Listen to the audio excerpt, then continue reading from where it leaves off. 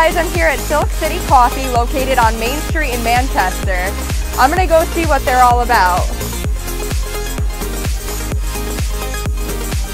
The slogan of the shop really is love coffee, love people, and that is exactly how we run our everything. Um, so it's all about having a really good cup of coffee. We really focus on having a specialty cup of coffee and a lot of homemade treats. Um, but we also really love to love on the community. We always love to have people over for dinner, and now we just get to have the whole town of Manchester over. We could tell that the community was waiting for something like this, um, a space just to kind of meet with each other and hang out, uh, somewhere very relaxed and comfortable.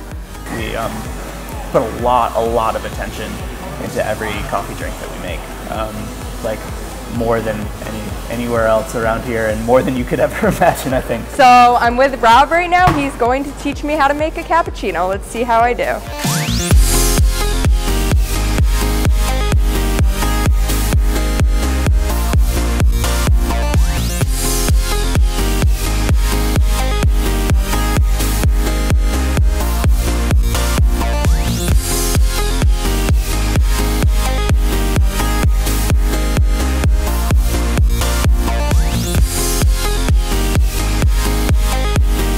It's not exactly a heart, but I tried.